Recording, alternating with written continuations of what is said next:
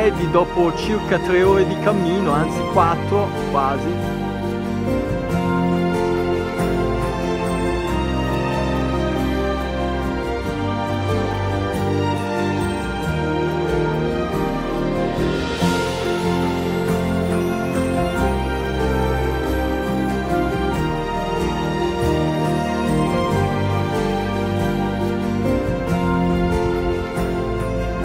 Siamo leggermente sullo sconvolto